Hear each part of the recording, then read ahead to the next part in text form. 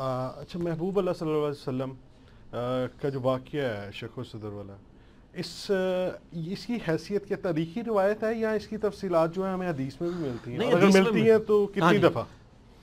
दो दफ़ा तो मिलती है। सही बुखारी के अंदर ये हदीस मौजूद है कि जब हलीमा सादिया के पास थे रदी अल्लाह तसलाम नबी तो उनको आके ये आपको मिशकात में भी ना अलामातुलनबू वाले चैप्टर में हदीस मिल जाएगी। जी।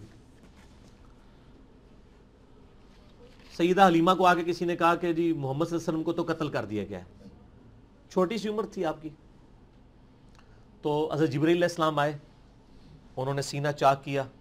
ये नबी इस्लाम खुद रवायत करते हैं सीना चाक किया दिल निकाला उसमें खून का एक लोथड़ा रिमूव किया और कहा यह शैतान और दुनिया का हिस्सा था जो आपसे रिमूव कर दिया गया और एक सोने का तश था ईमान का भरा हुआ और जमजम में। उससे वो धोया गया और फिर दोबारा सी दिया गया। और अनस अपने मालिक कहते हैं कि हज़रत जबराइल ने जो सिलाई की थी ना हजूर के सीने पे मैंने वो सिलाई के निशान देखे हुए ठीक है? और इस दौरान नबी इस्लाम की डेथ भी नहीं हुई है। ऐसा बाईपास उस जमाने में हुआ। और ये दूसरा बाईपास बुखारी मुस्लिम में आता है जब आपको मिराज पे लेके जाने लगे थे ना उस वक्त भी नबी इस्लाम ने कहा कि मेरा दोबारा से दिल धोया गया। जन्नती तश्त लाया गया सोने का लेकिन पानी जमजम का था। यानी जमजम इतना मुतबरक पानी है। पानी जरा से नहीं आया वैसे ये भी जनती पानी है जमजम भी। जी जी। तो इसमें वो धोया गया। तो इसको कहते हैं शक्कु सदर वाला वाक्य। सीने के चाक होने वाला वाक्य। तो ये नबी इस्लाम के ज़िंदा मोर्जात में से है बुखारी मुस्लिम के अंदर मौजूद है। और वाक्य मिराज वाले मेरे तीन लेक्चर है मसला 126 ए बी सी उसमें मैंने डिटेल के साथ इन वाकयात को डिस्कस किया है जिसे शौक वो ज़रूर देखे मिराज शरीफ के ऊपर। जी जी। आप वसल्लम के जिसम मुबारक पे किस किस जगह मोहर नबूवत थी? और क्या उनकी अंगूठी जो थी उसके ऊपर वो उसको भी मोहर नबूवत कहा जा सकता हाँ मोर नबूत तो उसको यानी कह सकते हैं अंगूठी के लिए भी। खातिम कहते हैं ना ख़त्म करने वाले को और एक लफ्ज़ है खातम। खातम कहते हैं मोहर मोहर। नबी सल्लल्लाहु अलैहि वसल्लम के दोनों शानों के दरमियान बुखारी मुस्लिम में आता है। ये भी आपको मिशकात में हदीस बुखारी मुस्लिम के वाले से मिल जाएगी मोर नबूत वाले चैप्टर में। दो ये कंधों के दरमियान ना पीछे सेंटर में जहाँ ये हम शिमला भी लटकाते हैं पगड़ी का। यहाँ पर कबूतर के अंडे के बराबर एक गोश का लोथड़ा था। ठीक है जी? जिसपे दो छोटे काले तिल भी बने हुए थे। ठीक हो गया। और वो आप इस्लाम के नबी होने की दलील थी। ये प्रैक्टिकली अल्लाह ताला की तरफ़ से होता है। मोहर नबूत उसे कहते हैं। और बुखारी में मिलता है एक सियाबिया छोटी सी कहती मैं तीन चार साल की बच्ची थी उस वक्त तो मेरे वालिद मुझे नबी इस्लाम को मिलाने के लिए ले गए तो आप ज़रा वो कैजुअल बैठे हुए थे घर में तो चादर भी उतरी हुई थी। जी जी। तो कहते हैं वो मोरे नबूत नज़र आ रही थी तो मैं बार बार ना हजूर की कमर पर चढ़ के ना उससे खेलती थी। वो ज़ाहिर एक लादा से एक लोथड़ा नज़र आ रहा हो ना तो वो बच्ची कहती है और आ, कहते हैं मेरा बाप मुझे बार बार डांटता था हजूर कहते थे खेलने दो उसको।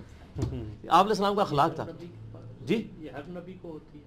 आ, ये डिटेल तो हमें नहीं मिलती है कि हर नबी को होती है यानी इसमें सीरत नगार कहते हैं कि हर नबी को होती है हमें इसकी कोई डिटेल नहीं मिली हमें तो जितना पता है हम वो बता रहे हैं। कि नबी इस्लाम की यहाँ मोहर नबूत थी और एक मोहर कहते हैं वो आपकी अंगूठी थी वो चांदी की जिसमें मोहम्मद रसुल्ला लिखा हुआ है। आ, वो आज भी उसके निशानात मौजूद हैं।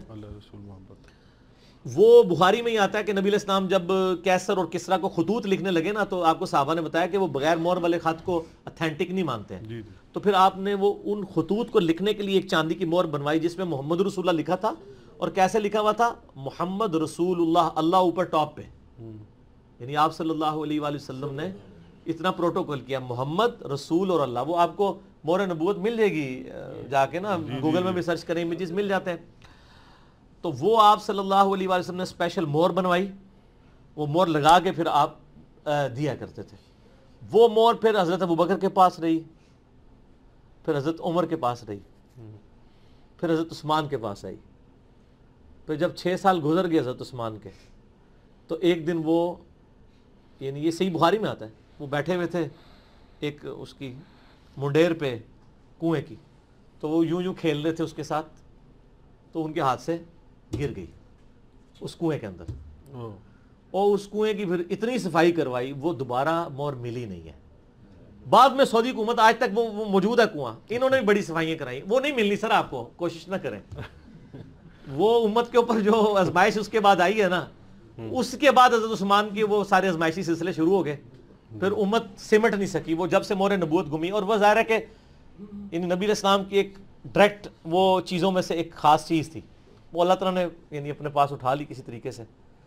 तो इस मोहर के ऊपर भी आपको चैप्टर मिशकात के अंदर बुखारी मुस्लिम के हवाले से मिल जाएगा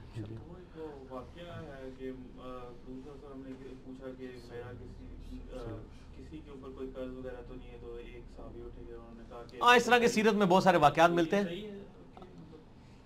और इस तरह के काफ़ी सारे वाकयात मिलते हैं सीरत की किताबों के अंदर। हमें उनकी अथेंटिसिटी नहीं पता हमें जो चीज़ें पता है बता रहे हैं। मेरे ख्याल मगरब की अजान अभी टाइम है टाइम अच्छा दूसरा ये कि आप सिर्फ़ वो बंदा बोले जिसको कॉलर माइक लगा है। वरना सुनने वाले इतनी बदवाएँ देते हैं ना बीच में बोलने वालों को आपको पता नहीं है।